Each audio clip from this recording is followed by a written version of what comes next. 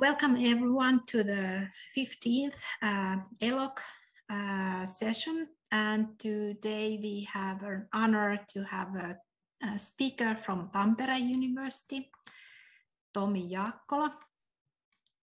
And we have had quite a series of talks before and now I will let you know like what the schedule is. First, Tomi will give us a, uh, about 45 minute talk and then after um, then after Erno and Tomi will be reflecting on the topic. And after that we will have a short breakout room discussion small group discussion about a topic that Tomi has been has given. And then there will be a little wrap up and closing session. Overall this will take about one hour and 30 minutes. So Tomi will present today about uh, simulations and external rep representations uh, in science and math learning and how to support learning, transfer and interest.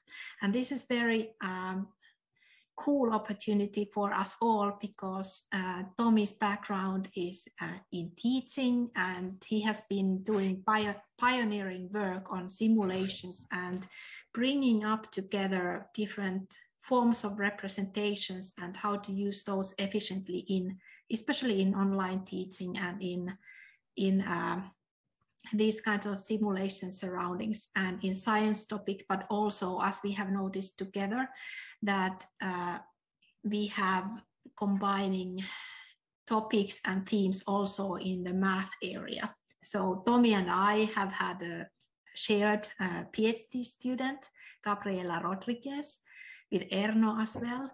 And um, we are really happy to have you here and congratulate Erno for your birthday. That was quite a while ago already. And also Tomi for your associate professorship in Tampere.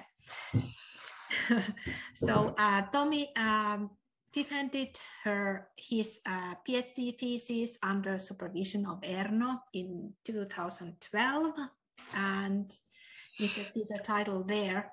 And that was the time when we were we, we saw each other quite often times in the Educarium building in Turku. And then I asked a little bit about uh, what else do you do or what else has been um, important for you in life and there's a little hint in the this pictorial representation. So i wonder is that true that you have been playing tennis in a quite top level even? Yes that is of course yeah. But that's uh, been a long time ago like uh, many years ago. But yeah i won some finnish championships in tennis so i was quite serious about that back then. But uh, Mm-hmm. Yeah. Now I now I have kind of returned back to that. I, I play with my sons oh, every okay. every Sunday. Yes. Okay, good, good.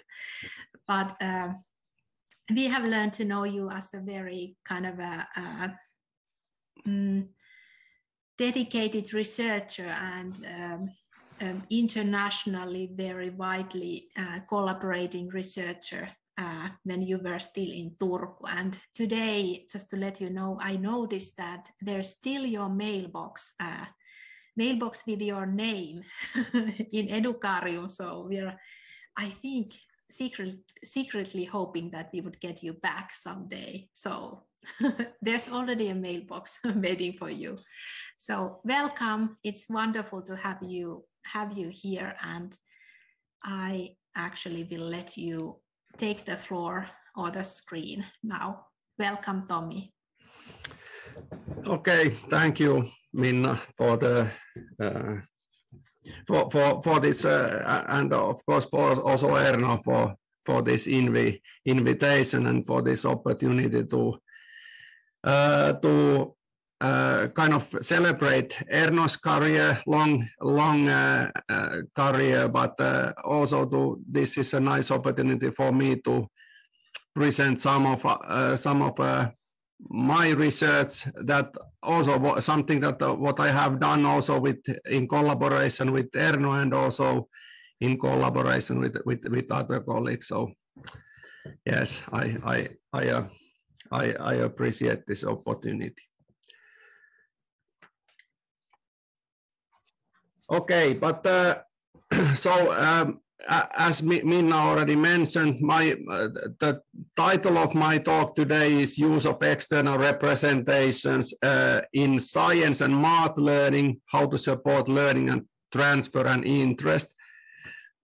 Although I, I my main focus today is on, on science and math learning, but I, I think this, uh, I know that represent different kind of representations are, are used in in all kinds of topics. So I, I think this kind of uh, this this kind of topic is it's is much broader. But but uh, since uh, these are kind of um, science is my main topic, and and as Minna said, we have collaborated a bit on on math learning as well, and and and since uh, I I know that. For, at least in the latter part of Erno's career, math has been the kind of the main focus. So I thought that it would be kind of appropriate and, and also interesting to include kind of some math examples in, in my talk. And also I think that there is an important relationship between math and science in a sense that uh, that uh, kind of uh, math overall is quite abstract, but science is kind of one context where you, one kind of practical context where you need to need to kind of apply your uh, apply uh, different kinds of math. A uh, little bit about the background of this presentation. So in, in our increasingly multimedia-centric society, the use of different kind of external representations in learning, teaching, and communication has increased dramatically. And as a result, uh, there is an increasing need to use and interpret a large variety of external representational forms, some of which are more concrete than others, and, and as a result also to understand how different forms shape learning. So in, in, in my today's talk, I will examine uh, the benefits and challenges of concrete and abstract external representations in teaching and learning, and particularly from the perspective of learning, transfer, and interest. So uh, here is a kind of example or kind of framework that what I will be using today. So so uh, there are different kind of categorizations, but this is quite commonly used categorization. So on the left-hand side, you can see kind of representations or like learning materials that have a physical form. Then in the middle, there are there are the same kind of same representations or this pictorial form that refer to these physical, these concrete objects. So there is a you can see the kind of slice of there on the on the physical form there is a kind of real image of real pizza then it's a drawing of pizza and then there are like if we use these pizzas or or images of pizzas to learn like for instance like fractions then there are corresponding symbolic forms. And they and the same kind of holds for for learning sciences. For instance in this case electric circuits so we can have a real electric circuit, so in, in physical form, so something like really tangible. Then we can have a, the drawings of, of, of circuits, and then we have symbolic forms like, like this, these formulas. formulas. And then when, so these kind of different representations, they, they can be put on the on a, on a kind of concrete abstract continuum, or they form the concrete abstract con, uh, continuum. So this physical, uh, so this real, uh, real object, physical form, that forms the kind of the concrete end of, of the continuum, and and this symbolic the symbolic form they they represent the kind of abstract end of the continuum. And but then you can have multiple different kind of representations there in between. For instance these uh, like on the left hand side you can see the like the pizza that has these dots. They can be kind of thought like for instance they are representing salami slice so it's a little bit more kind of real like pizza than than the than the next one. And the same holds for these electric circuits there that here is a drawing that you can kind of I would say immediately recognize as as a representation of real circuits whereas on the right hand side these schematic circuits it's kind of convention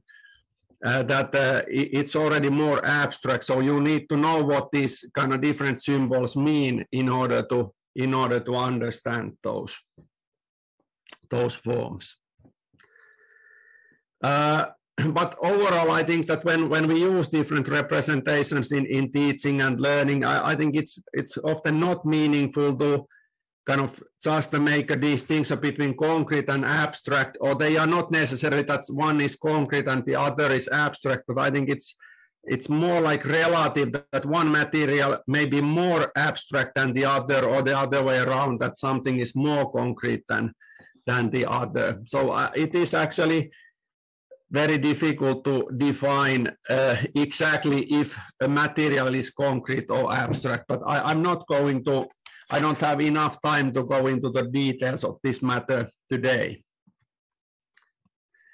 Then something like, uh, I thought that it's useful to start with some more formal definitions. So concrete representation has identifiable correspondences with its reference and is recognizable and understandable based on everyday experiences uh, and and words like specific, modal, equivalent, example, or episode are, are typically associated with concrete representations. Uh, whereas abstract representations communicate, abstract representation communicates minimal extraneous details beyond the defining structural information and is, is more or not at all linked to its referent and terms like generic, amodal, distinctive, rule, or prototype are typically associated with, with abstract representations. Uh, there are also other other kind of corresponding terms that you if you search the literature uh, for instance there's uh, Kaminski and colleagues they use also concrete representation, but they they they use word generic term generic instead of abstract representation. There's concrete, idealized, grounded, formal, indirect, direct, and descriptive and depictive. Uh, they all kind of uh, go under the same uh, umbrella, and I think the selection of terminology kind of depends uh, depends on on on mostly I would say on the topic topic of the of the research, but they all mean the same thing. But but in today's talk, I will I will use the terms concrete and abstract. So each or both representations, they have kind of uh, specific strengths and weaknesses concrete, the strengths of concrete representations are that they are more easy to understand and they can activate prior knowledge which, which has been shown uh, in especially in the research of on conceptual change that it's very important to activate prior knowledge not only to accumulate knowledge but also kind of activate misconceptions then it is also often claimed that concrete materials are more engaging, but I think there's not really uh, that much empirical evidence on that, that the uh, concrete materials would be, uh, would be uh, more engaging than abstract ones.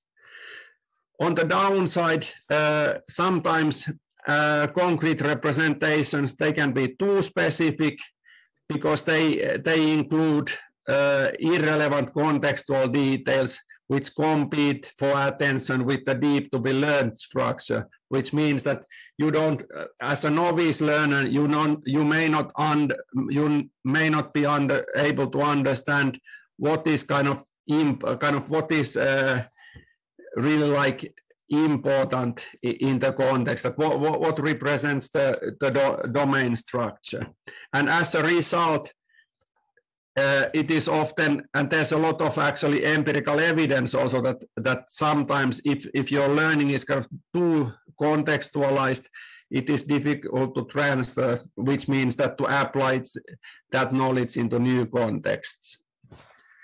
Uh, the benefits of abstract representations are that they emphasize the core attributes and structure, and they are kind of more generic.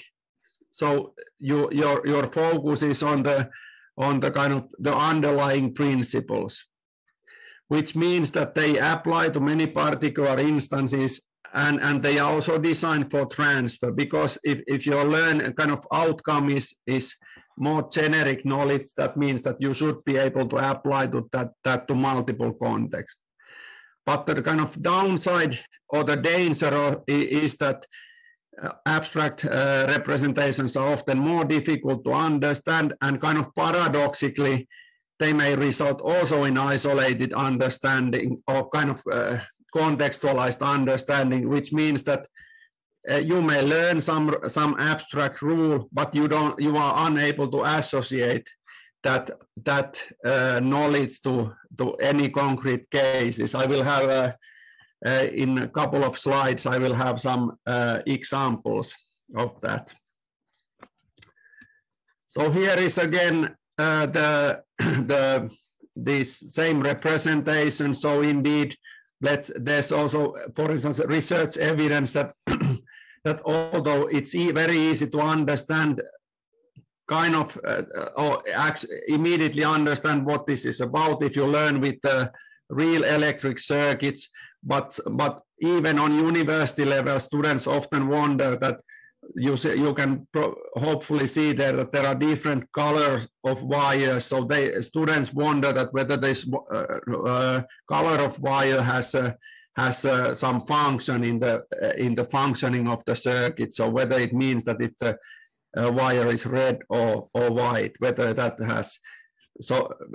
An impact on the functioning. The same goes with that if you are presented a picture of real pizza, you, you that may distract your thoughts that you may start kind of uh, uh, desiring uh, pizza or thinking pizza uh, eating context instead of focusing on on fractions for instance and the other way around that if we move towards the more abstract representations that means that uh, that they may be more difficult to understand for instance I, I, I know, for instance, that in mathematics uh, teaching, you basically, with, small children, you need to start from this, at least from these pictorial forms, that you can't immediately start from this symbolic form because it's too demanding.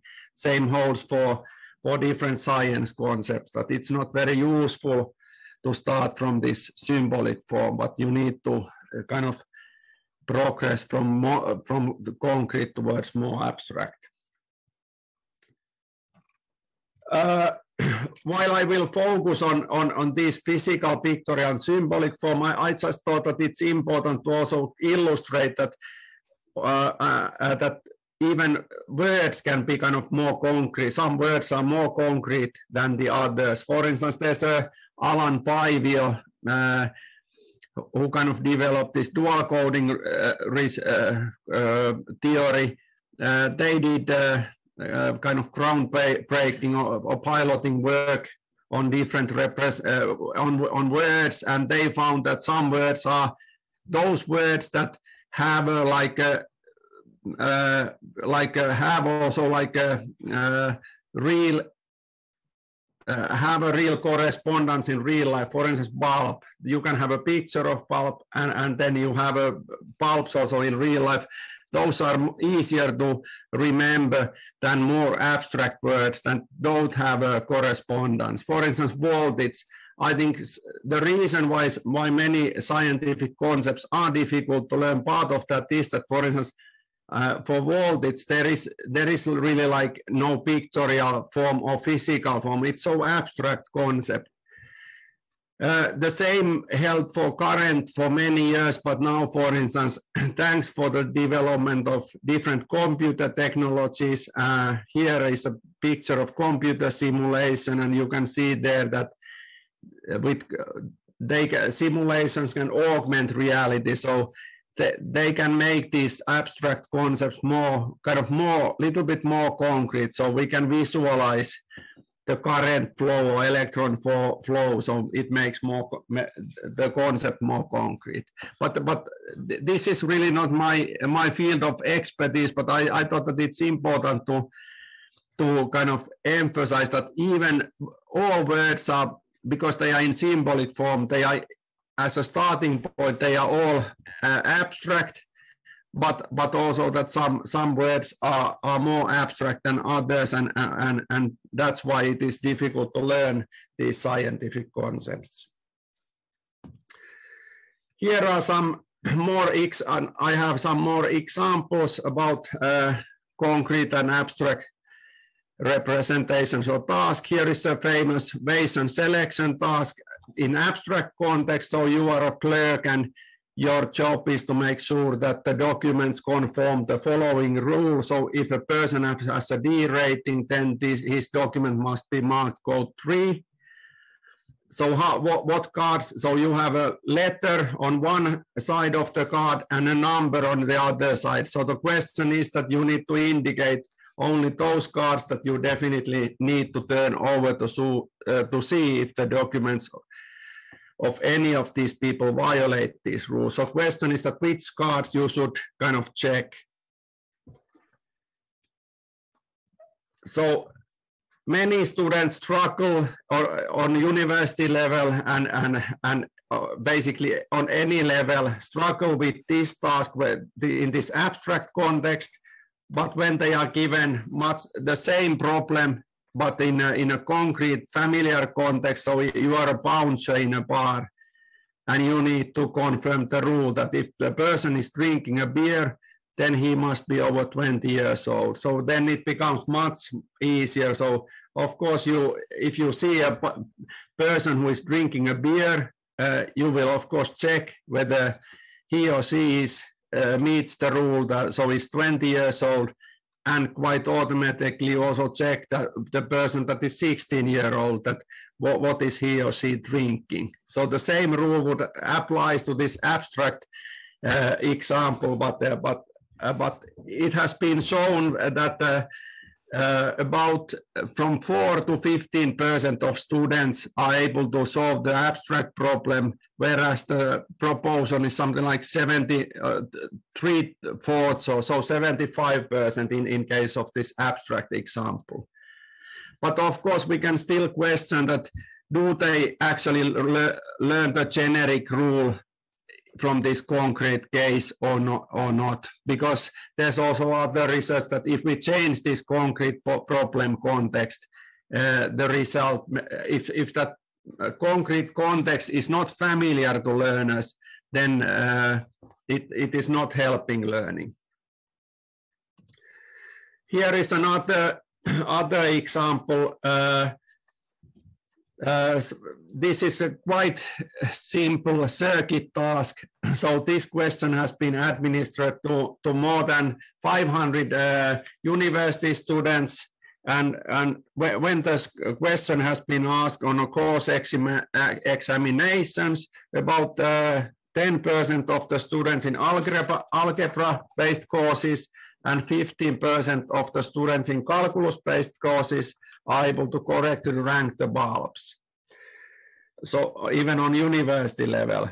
But to compare the relative brightness, uh, you actually don't need, need any calculus, uh, but, but only kind of it is sufficient to reason qualitatively. So, so the result, for instance, here would be that A, D, and E are equal and they are brighter than B and C. So that shows that uh, this is, serves as an example that if you learn this abstract knowledge and you are, but you are unable to connect that to kind of real circuits or, or you are unable to uh, map uh, this quantitative knowledge with qualitative knowledge, uh, that that quantitative uh, knowledge that you have learned is not not very useful. So here is another uh, actually very famous example that was uh, Kaminski and colleagues published a study in 2008 where they uh, investigated uh, or compared the effect that, uh, the, so the target was to learn a, commu a commutative mathematical group of order three uh, and with generic symbols or with concrete symbols. So they actually had three concrete conditions. So you can see here bottom. So you, they had either measuring cups, pictures of pizza, and uh, tennis balls in a container. So they, they first learned this either in a generic or in, in concrete condition, and then they found that the learning in these conditions was equally good, but then when they measured transfer, they found out that uh, that this generic, they use the term generic, but but this abstract representation, learning with abstract representation was was superior. However, they so so so as a as a because of these results, they concluded that if you want to uh, have a good transfer in mathematics, you should use uh, abstract representations. But uh, they, their research has also received a lot of criticism. For instance, it, it has been claimed that the transfer task is more similar to the generic instantiation than to concrete ones. In the transfer task, those participants in the generic condition had only to map three symbols onto three other symbols in the proper order and then perform operations with the new symbols in ways precisely analogous to the ones they did earlier. Whereas in concrete condition, uh, they had, students had a more, more substantial task of trying to operate with relatively abstract symbols in the transfer, transfer task for the first time. So their reliance on quantity in the transfer task was not useful and could in fact have impeded in their progress on the transfer task. So what that means is that uh, basically uh, here is a when you so, try to solve or learn these, these rules with these measuring cups, these concrete representations, you can, I think, quite automatically you start kind of operating with quantities on or with numbers. For instance, you can say use fractions to represent these or or, or any kind of these combinations. Whereas with these abstract representations, here you don't they don't invite you to use kind of uh, quantities or numbers. And and the same holds for for this transfer domain. So for instance if you would have a, this problem that you have three circles and the question is that what's the what's the leftover this is kind of stepwise process that you should follow and find out that this is the kind of uh, final outcome or, or the or the leftover.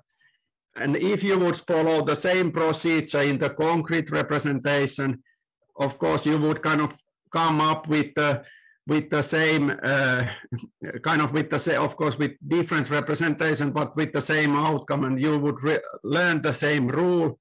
But I think in reality, because this is for they their target uh, or their participants were university students, so it is, of course, obviously you don't you don't need to use this kind of strategy, this kind of formal strategy, but you would rather put two one thirds, three one thirds together. It's a full, full cup, and then two thirds from here, or use some kind of other other calculation. So so you actually learn quite different rules that you you focus on the kind of numerosity here in the concrete example and, and not, not, not here in the, in the abstract example.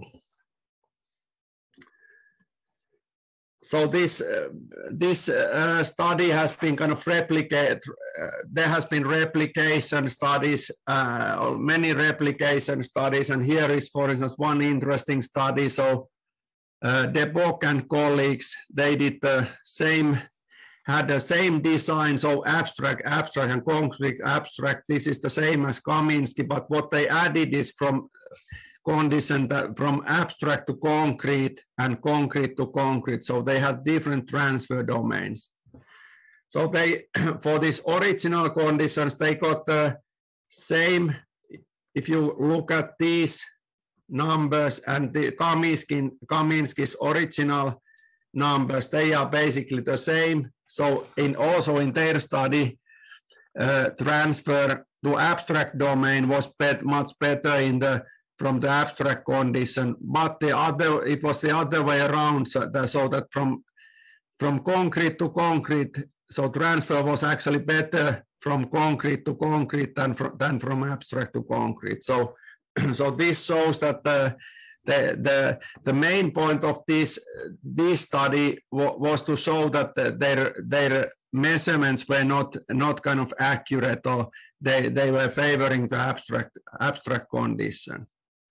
Then there is a more recent study by Trninic and colleagues. Uh, they, they also added this formal uh, formal transfer domain there, but also what did what they changed is the, is this kind of little bit this during this learning because I think it's counterintuitive that for instance if you have if you would have two thirds and two thirds then you you have left over one third but if you have this one third and two third in the original form the leftover is this full whereas I think this is intuitively kind of more more correct to have it like this.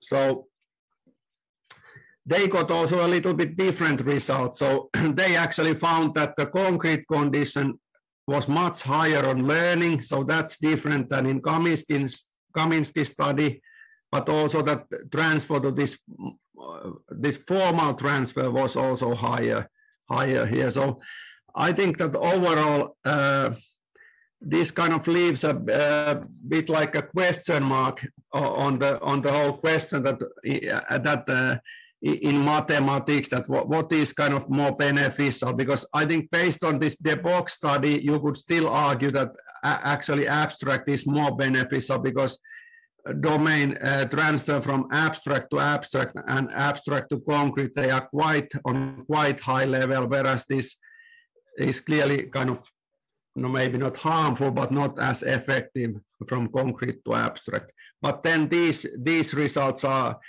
these uh, uh, newer results, they actually indicate that concrete would be better, but it is a little bit uh, open, I would say.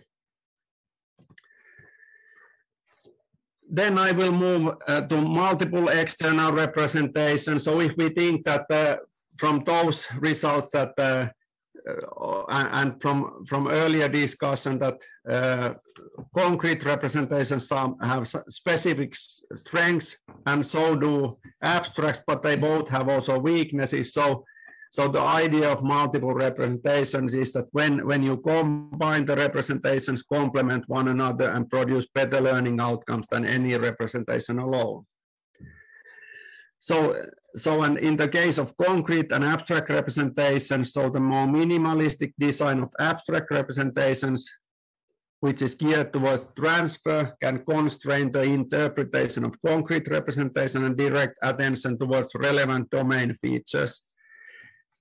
And since abstract representations are more difficult to understand, the strength of concrete representations is that they can bridge the gap between the abstract abstraction of reality. So that would be the rationale to, for combining concrete and abstract.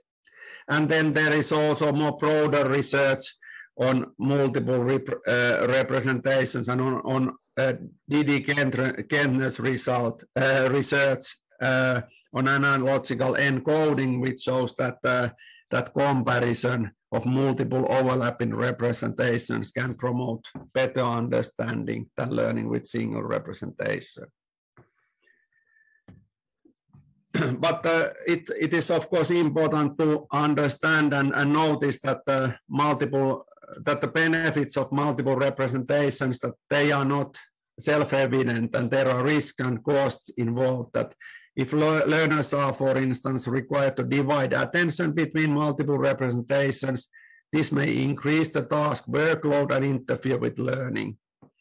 And learners may also fail to extract the key concept. So, so if they are not able to recognize that, that these two representations are connected and they, they represent the same phenomena.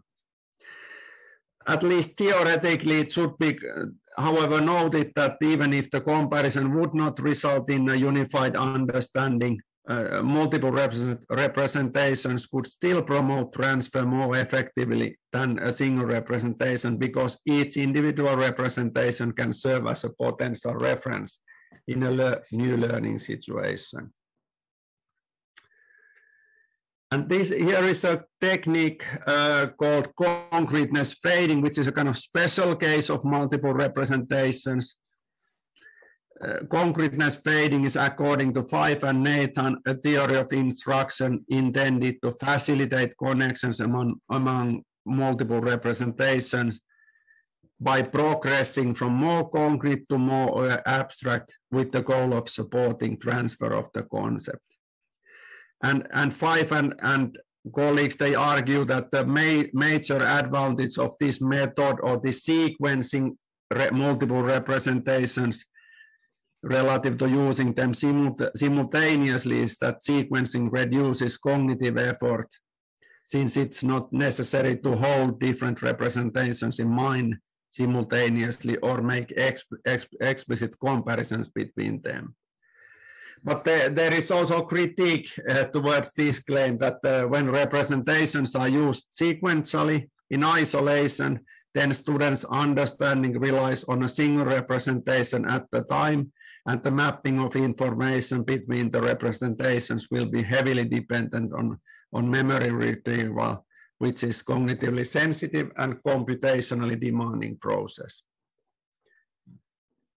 Here, uh, so here is a illustration of how, how concreteness fading theoretically overcomes the problem of transfer in comparison of learning with concrete or abstract representations alone. Uh, if we start here from the bottom, we can, if we if we learn from with concrete representations, the transfer to other concrete representations is relatively easy whereas kind of the distance to abstract representations is, is bigger and it's more difficult to tr transfer to abstract representations. And the, the reverse holds for, for apps when learning with abstract representations. So it's easier to transfer to other abstract representations and more demanding to transfer to concrete representation. So if you use multiple representations, for instance, this concreteness fading technique on theoretical level, since you experience different kind of representations, you should be able to transfer to any kind of representation. But I think the problem in, in, in the current uh, currently is that quite often the measurements are kind of limited to this abstract representation. So kind of researchers are satisfied that when you are when you have good results regarding the abstract representation. But uh, as I showed, for instance, this McDermott's research on electric circuits, that it is equally important to be able to transfer to different kinds of representation. So that, that is clearly a limitation. Here are some empirical uh, results regarding concreteness fading. For instance, McNeil and Fyfe, they, they also replicated this Kaminski study and they found that uh, actually this concreteness fading, they start uh, when when learners started with uh, with these concrete objects, measuring cups, then Roman numerals, and then to these abstract symbols. They outperformed this generic condition or abstract condition and also this multiple concrete condition. But uh, so while I think this result uh, kind of shows that this fading was better than this abstract, but I, I think it is a little bit question questionable that this because they use multiple concrete. I think the use of kind of concrete or single representation or the diffi difficulty with with the these uh, uh, multiple representations is that you need to be able to connect them. So, so I think, and if you think, we also think of these transfer measurements uh, that I think they were not that favorable or were least favorable to this concrete condition. But I think this, this research nevertheless shows at least that the fading was better at transfer than, than the abstract condition. Similar results have been obtained also in science learning. For instance, Goldstone and so, Son, some uh, quite already quite long, 15 years ago, uh, they did a study where they had actually four conditions. So uh, only concrete, only abstract or concreteness fading where they started with concrete representations and then switched to this more abstract and the fourth condition, they start so-called concreteness introduction. You start with the abstract representation and then move, move towards concrete. And their result was that this is the first the learning phase. These multiple representation conditions were better than single representation conditions. And, and you should also pay attention that these represent error bars. So shorter bar means better learning outcomes.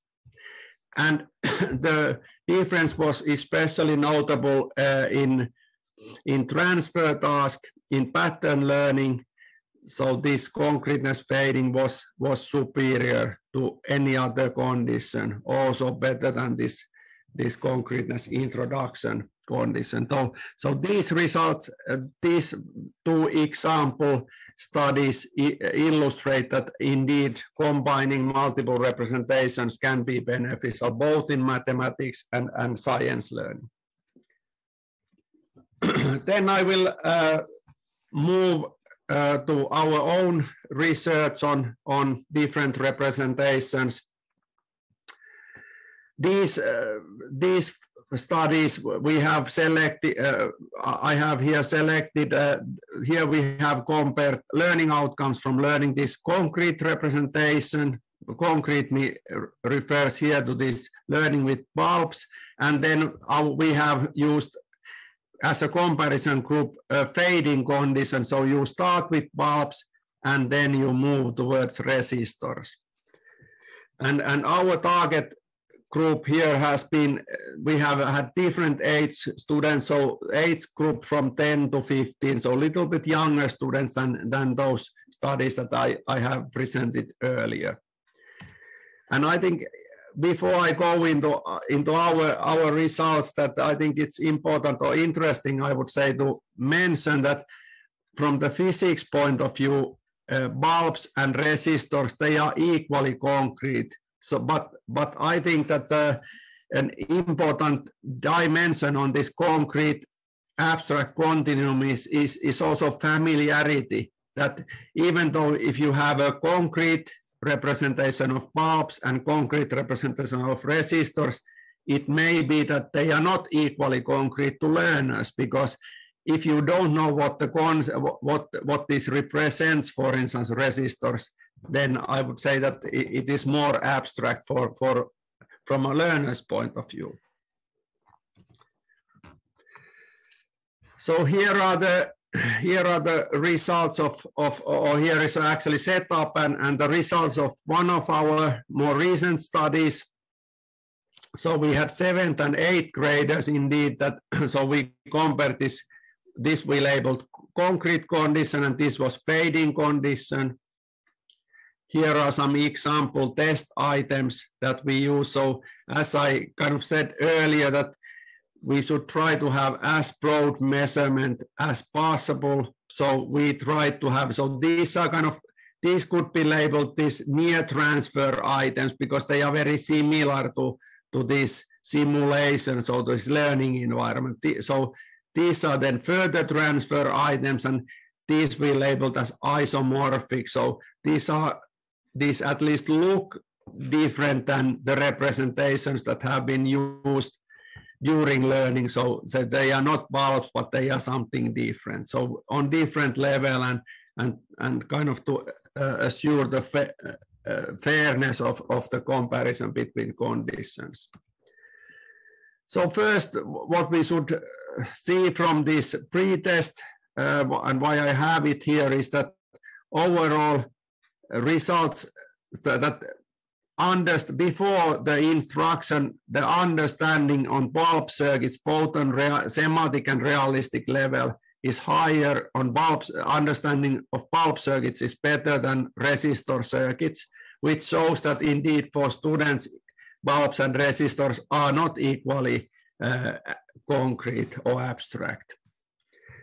Another thing during the learning time, I have highlighted here with the red, that this is the time when they swap or switch from bulbs to resistors, and this same task, uh, when they used only bulbs, it took less time. So clearly it's not kind of a they needed to put some additional effort there on learning when they transferred the representation. So I think this result kind of indicates that that if you have multiple representation, it takes time to adjust and, and map those representations. But then about these learning outcomes, we found regarding schematic circuits, we found no differences between the conditions, but uh, concrete condition here we, you can see they outperformed the fading condition uh, on, on these realistic circuits. And what was also interesting that since this concrete condition, they didn't uh, learn with these resistor circuits at all, they still did equally well on res resistor circuits than, than this fading condition. So in, in our study, we didn't find any benefit of the, uh, you could say that we didn't see any advantage of using multiple representations. So what could be an explanation why our results seem to be different than, than those of Goldstone and Son, for instance, or, or those that McNeil and Fyfe study in mathematics? So, of course, one explanation is that we had a bit younger students uh, which may mean that it was more difficult for them to connect the rep two representations.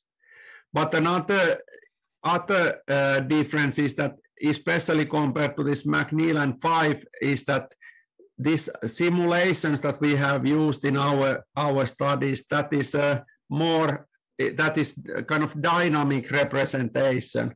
So that actually combines so it is schematic so the appearance is schematic, but like in real physical circuits, you can actually, you can construct the circuits, you can measure the circuits, and it's of course difficult to see here, but depending on the configuration of the circuit, the brightness of the bulbs will change. So there is also this dynamic bulb brightness aspect.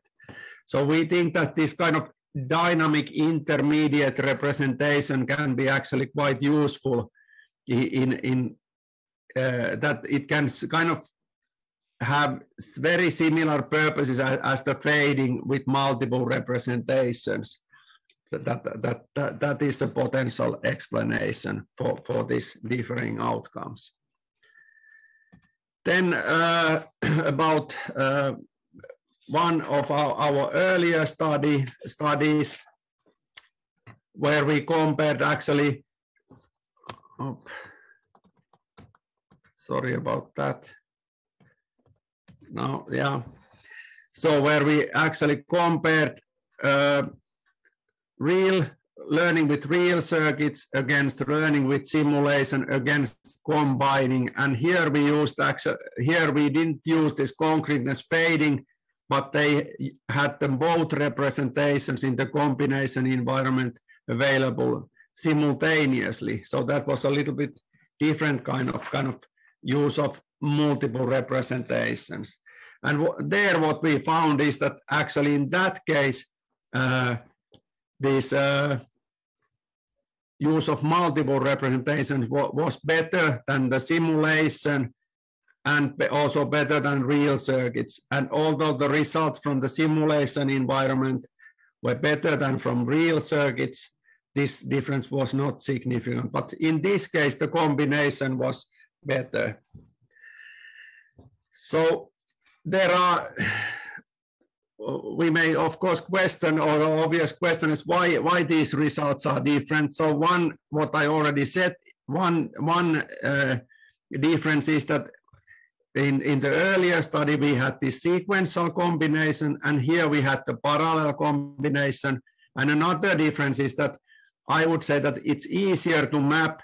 So here you have re, or real circuits, re, real bulb circuits and virtual bulb circuits, they are much more kind of more similar than if we have a virtual bulb circuit and virtual resistor circuit because you then you have different components. So that may be another explanation that it is actually easier to map to uh, so real and virtual bulbs than than virtual bulbs and and resistors and here are here are some some uh, we, we, video recorded this and here are some some uh, exp, uh, excerpts uh, from from those video data that shows some of the kind of benefits of using multiple representations. For instance, here they have created this single bulb circuit and have uh, measured the bulb voltages with real. Then they go to real circuits. They measure and they are not exactly the same, uh, but uh, but with the help of teacher, they kind of come to understanding why that is the case. But then uh, th there's not enough space to go go into more details. But then this one of the students goes back to after. So he has first built the circuit with the simulation, then he builds identical circuit with the real equipment, and then again goes to back to simulation to adjust the simulation voltage to match this. So I think this is an example where this kind of analogical encoding takes place that that that that you really like focus on comparing these representations. And here is a similar example that they have uh, constructed a more complex uh, virtual circuit, and that serves as a point of reference when they when they start building this uh, real uh, real circuit. And and that helps them to understand even why why the circuit may be correct even the bulbs don't lie light because the, the it's uh, the the amount of current is so so low then uh, uh, as a final thing uh, i promise to say something about interest. Why why why we are inter, interested also in interest in, in in in this context? So overall it has been shown that interest has positive influences on various aspects of learning but actually what is also interesting that the relationship between interest and learning outcomes is not clear but the main reason why we want to focus on interest and why, why i think it is important to focus on interest is that both in science and mathematics, but also in other domains, we have seen a kind of decline in pupils' interest. So it is important to design learning environments that do not only produce good learning outcomes, but are also engaging from students' perspective. And there's also evidence that, that actually the, their learning experiences in science, in school, are, are one of the more important determinants of, of on what they select in the future, whether they, they decide to uh, select a career or studying science and so on. So that's why it is important. As I said earlier, there's actually not so much evidence on, on, compare, on comparing concrete and abstract representations, but there's some, and our colleagues from Anna Tapola and, and, colleagues from Helsinki and actually Marjaana Veermans from, from Turku, they, they used our simulation environment or they actually uh,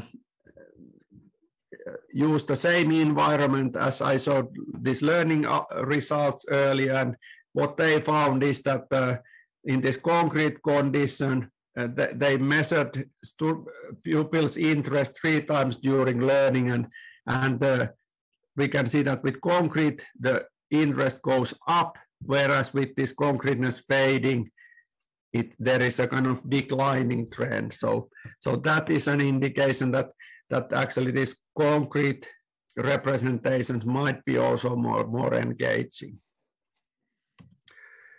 As the whole, here is also that we, like I said, that we have, actually we have also data from ninth, ninth grade students, but here, so here we can start also, so this is combined result from both learning environments. So we can see that this is especially engaging on elementary school level, and then it goes a bit, interest goes bit low, bit down on, on the secondary level, whereas the learning there's a clear, so this is pre-test and this is post-test. So, so this seems to be kind of the same simulation environment seems to be quite effective in, in different, or there's a clear progression once they become older, but of course here, this might be related to interest by their outcomes do not go any more higher on eighth grade.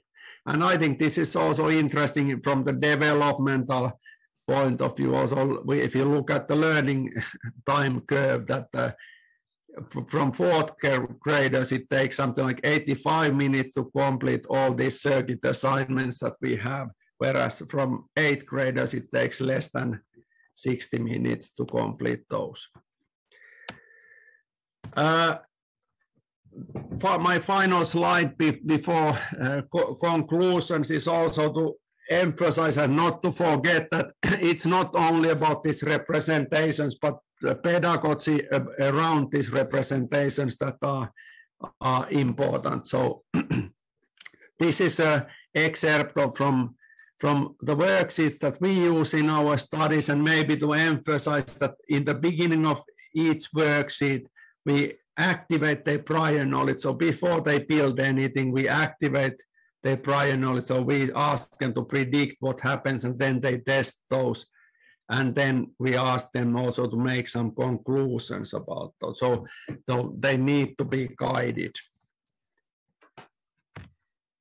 Then uh, to kind of wrap up some, I don't have a, like based on based on my presentation, I don't have really like definite answers because I, I think there's a I would say that regarding different kind of representations, the evidence is, I would say, overall inconclusive. But regarding the question whether we should use concrete or abstract representations, I would say that depends on the learning goal. And as we have seen also on the experience or age of learners. Then the question of single or multiple, I would say that the evidence suggests that in case of static representations, it seems that multiple representations produce better learning outcomes than single representations. But then in case of dynamic representations, such as the, our own study, it seems that a single, this intermediate or semi-concrete representation may actually be enough. But also to when to decide whether to decide use uh, single or multiple representations age may be a factor. And i think that this is a complex topic because i think younger students they may be unable to connect multiple representations but then there are also other research which shows that once your expertise grows you may actually uh, also you don't maybe you may not also um, you may not either benefit from multiple representations because one representation is enough. You are able to deal things or identify what is, for instance, with single concrete representations, you may be able to identify uh, what is relevant and what is not relevant. Uh, then I would also say that if you kind of get if, if the evidence suggests that the, using multiple or single produce approximately equally good learning outcomes, or let's say that single representation produces good enough uh, outcomes, uh, I would say then it would be preferable to use a single representation because overall it contains less risk and, and is from the pedagogical point of view, or from teachers' point of view, it's also easier to implement.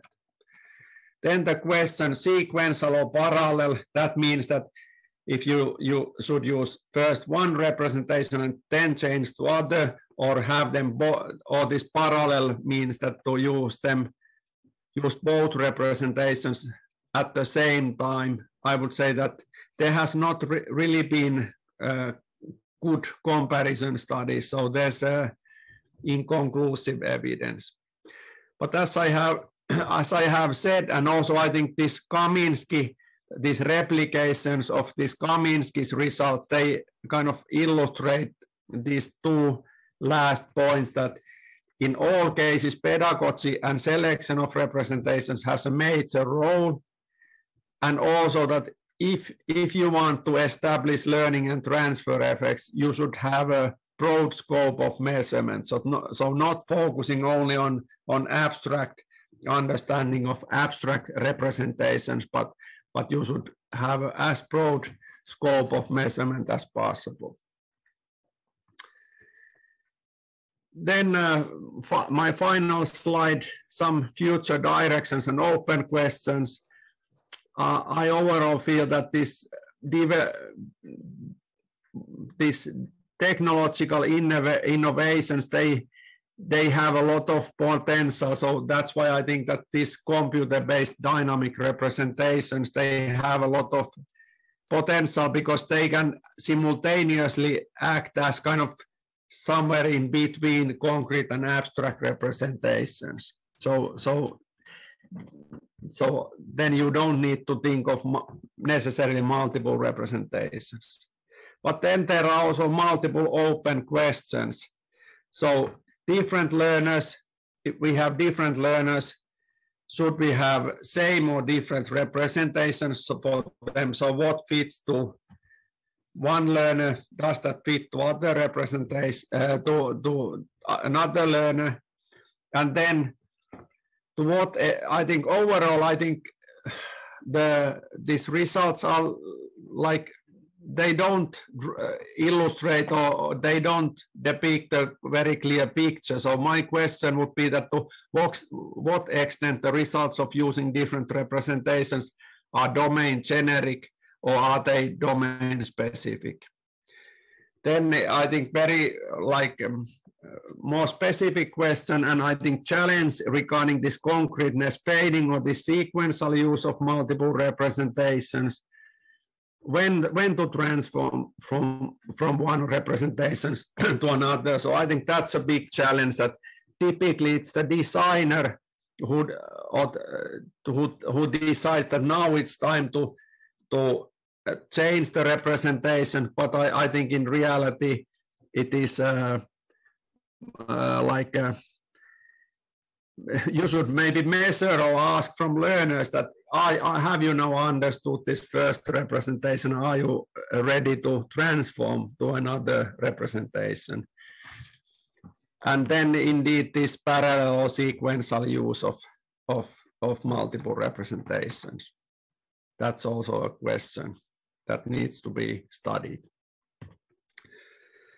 So that, that, that was my presentation. So thank you for your attention and, and, and uh, also besides Erno, I, I would like to uh, say thanks to my close former colleague Sami Nurmiba and, and my current and and, and uh, long long time colleague Koen Veermans from the University of Turku.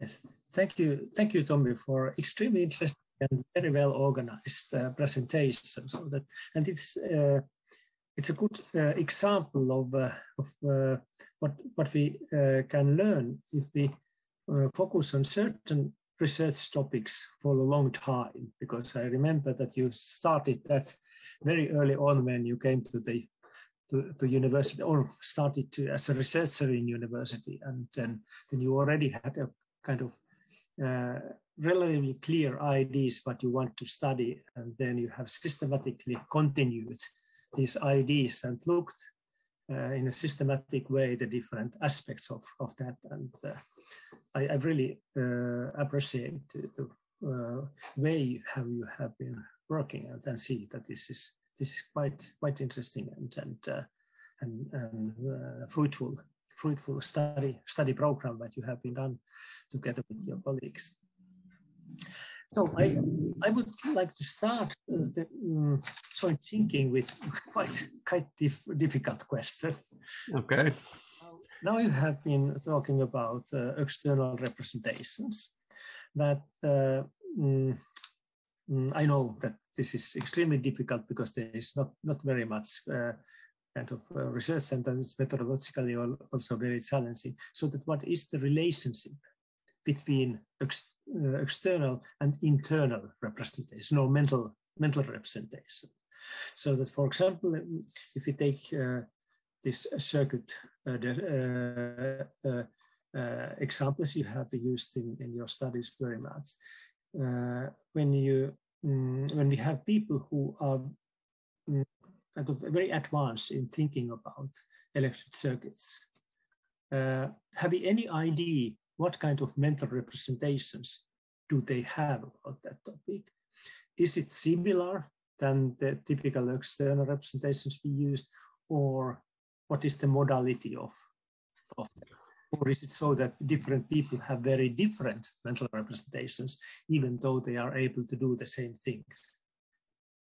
Yes, yeah, that is indeed a very difficult uh, question. And I think that the, so the, your first part of the question kind of was that what do these experts, what kind of uh, uh, and I think overall that is important that to that to kind of make a distinction. So I was my presentation was about this external representations, but that's uh, actually of course very important that we all have we all need to create kind of inter, internal representations when we try to understand something. And these external representations, these are kind of cognitive tools that help us to mm -hmm. think.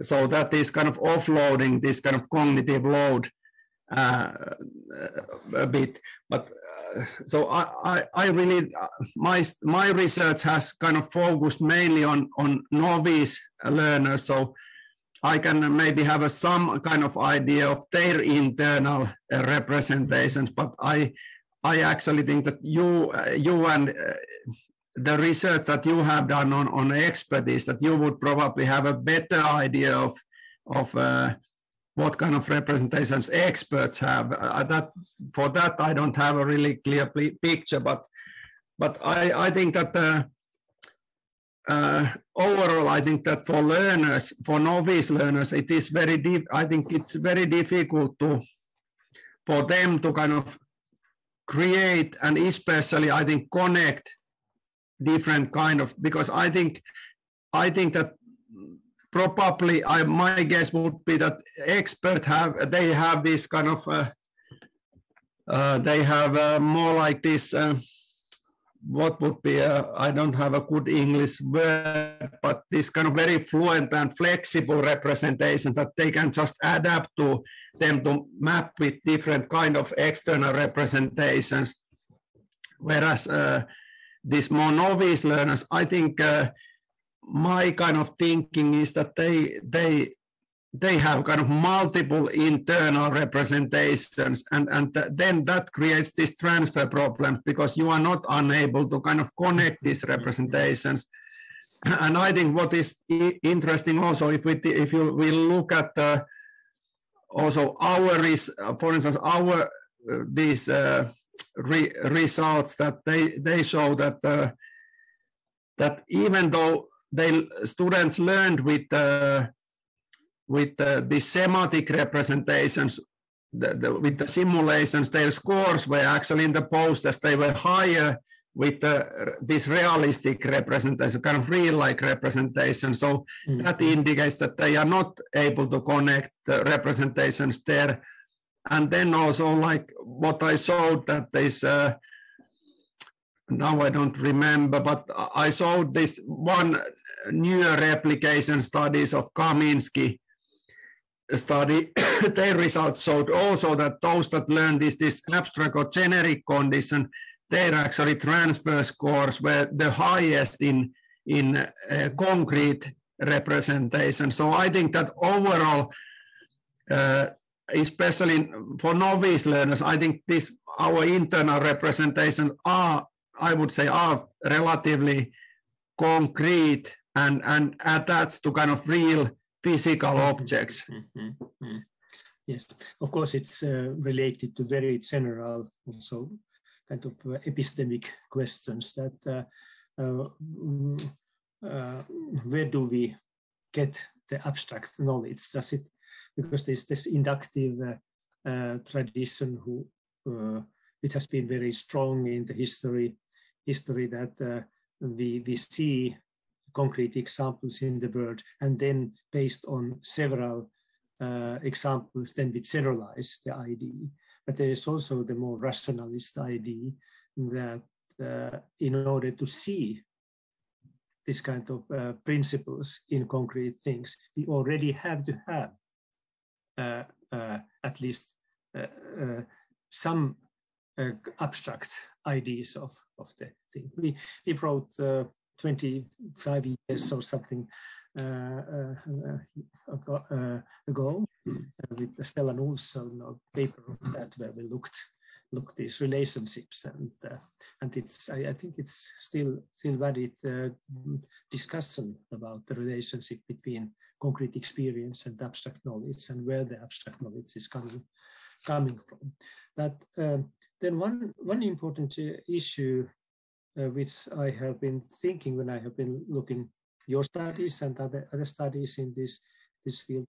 Uh, that is the kind of relationship between what happens in one particular experiment when, when they work, for example, one hour or one and a half hour, what, whatever, but you were thinking, or then the more long lasting uh, learning.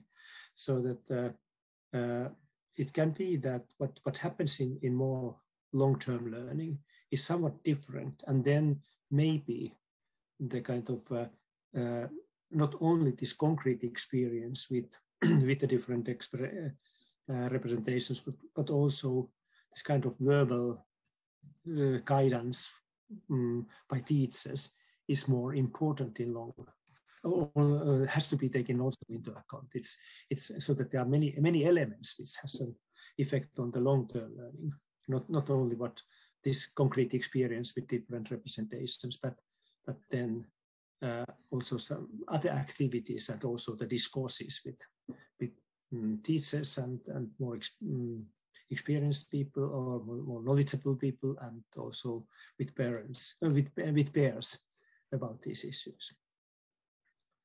Uh, but in in any of your studies have I, I, think that you have also studies where you have looked this pair interaction when they have been working working with this representation. Can you say something about that? Because I think that that's well, yeah, we have uh, looked at it several times, but we haven't actually ever pop like well. I, I, even though I showed some tran, uh, example of these transcripts uh, that yes we have analyzed but not really like i think it would be because uh, indeed our in our studies students always work in pairs because that is a first reason is that that is a common practice in in, in finnish science classroom but the another is that these are quite challenging topics and we think that especially these weaker students uh, that uh, that they benefit from collaboration that if, if they if put working alone they might kind of lose their interest entirely.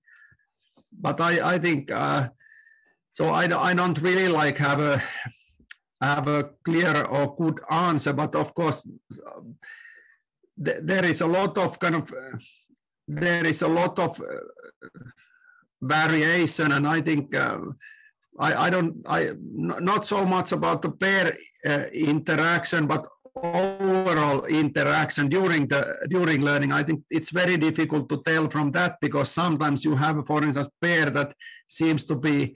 So I think Richard Mayer has this nice uh, distinction between cognitive and behavioral activity. So. Mm-hmm. I think some students, they may, or some pairs, they may seem to be kind of behaviorally highly active. But then when you measure their learning outcomes afterwards, you can see really like that they have been mainly behaviorally active. and not kind of really like cognitively active. So they have actually learned a little. So I think that's also partially why why the relationship between interest and learning outcomes it's at it's it's not clear and i think it's definitely not linear and i think the, there are these should i call them outliers or what but uh, yes, yes. but these students that show high interest but they don't learn much from this yes mm -hmm. yes and I, I think this is a kind of uh, very important uh, important comment you you made, uh, particularly if we, we think the future future development of science science learning, because uh, even though when we organize these experiments, it, it makes sense that we we have uh, uh, there's the specific materials and then student pairs work with that and there's no no other uh, uh, input on that process on that time. And then we have looks what happens.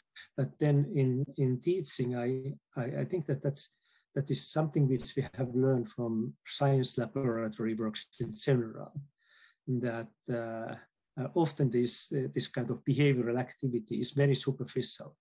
If there is a very strong support from from teachers which helps them to to really apply the uh, to, to the kind of this uh, uh, to to try to think conceptually what they are doing this, and okay we can use Mayer's term cognitive activity uh, in uh, in doing doing that and uh, now so far I, I think that uh, your uh, studies have been without this guidance is it so yes mostly that uh, yes mostly that we our well actually we have one recent uh, one uh, quite recent study where we actually uh, because I think that is a kind of step, sort of step when you develop your research that the stepwise. At first, you want to have your kind of control that what is kind of, a, I would say, ex authentic uh, laboratory setting in a sense that we give the instructions. So actually, the worksheets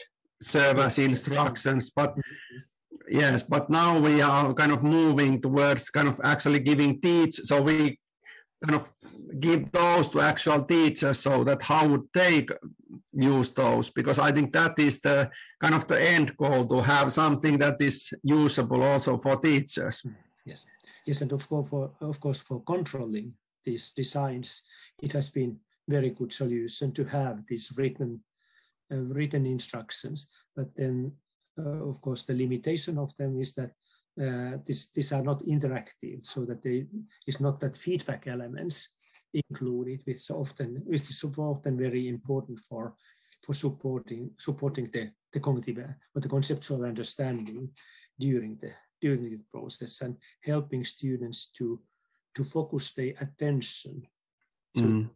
same issues, a kind of shared attention between teachers and students in in doing doing that. Maybe in in uh, if you are planning the future future studies, that would be uh, one aspect you can focus on to look in uh, the, the uh, teacher guidance more as a kind of interactive, well, not not just as, as kind of uh, previously made instructions what what students have to do, and maybe particularly focus on on the questions that how to guide students' attention to relevant aspects of, of, uh, of the simulations and, and also the concrete, concrete materials. Mm.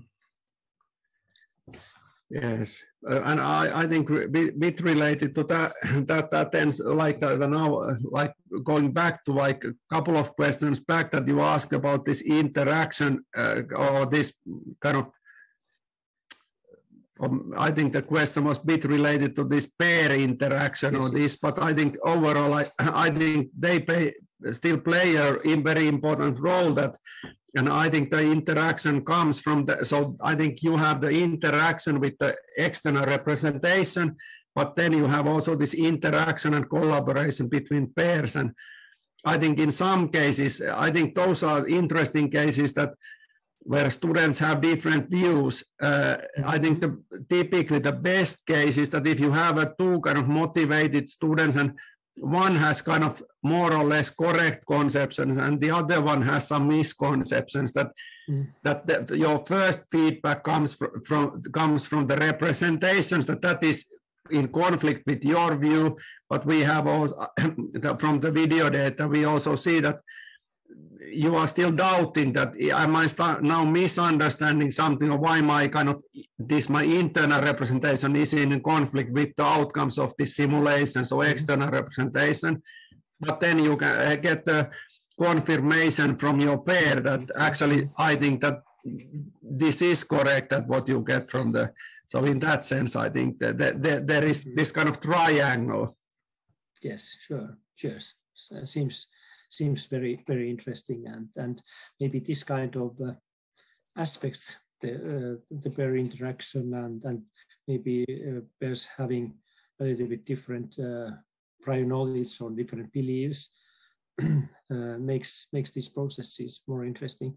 Um, because otherwise it's possible what is uh, particularly in, in this kind of individual work would be very easily the case that uh, the students are in a way playing the simulation, this term which has been used in simulation studies that because um, many, many of the computer simulations uh, the, are attractive from, from the point of view of just playing without any mm. visual uh, interpretations what is happening. But that's uh, just uh, to look these uh, all kind of uh, functionalities do and what fancy fancy effects can be mm-hmm. introduced and so on. Uh, do, do you have any observations of this kind of uh, playing the simulation phenomenon in uh, yeah I, I think that happens well that happens quite uh, like what we have learned that you need to give some let's say five minutes for students in the beginning but uh, because what, what, what they want to do in the beginning they want to blow up the bulb so mm-hmm. they want to put, uh, so they want to, so that's their first interest. And then the other is that they put the, the screen full of bulbs and see what happens. But uh, I think that our our worksheets and the instructions are kind of helpful in that that uh, mm-hmm. that they kind of focus the the, the, the students' attention towards the the kind of actual topic. But then I think I also want to mention that this, this uh, especially this real and virtual circuits that what we have used in parallel, that I think that is also quite good example of that. When you have multiple representations and, and if you are able to kind of uh, set, set uh, kind of have a setting where the students really focus because I think what is interesting there that we have first asked students to build a virtual circuit and then they clearly use that as a point of reference. They really want to succeed in building the corresponding real circuit.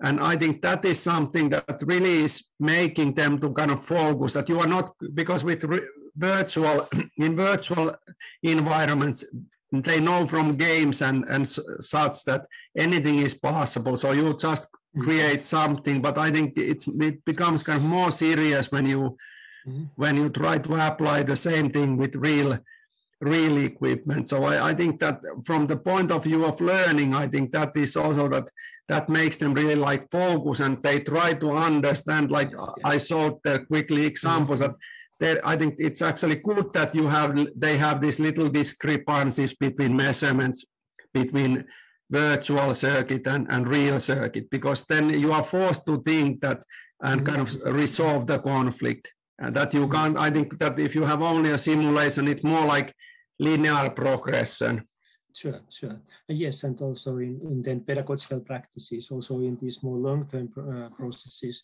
it would be possible to to use them parallel so that uh, when you are planning some concrete experiments with concrete materials, you first have to uh, uh, mm, use the simulation uh, uh, as a planning tool, which helps you to really plan what you have to take into account when you you uh, you make the concrete experiment or concrete sim yes concrete experiment with with some physical yes. yes thank you everyone at this point and thank you for participation and thank you especially Tomi uh, for your really interesting uh, talk and for your discussion together. And I welcome you in about a month to the next uh, Erno Lehtinen online colloquium in which we will have Andreas Gegenfurtner. Um, and then we will have also Emmanuel Akbach uh, this uh, spring left and hopefully Jake McMullen as well. And that's my secret hope that is uh, revealed now.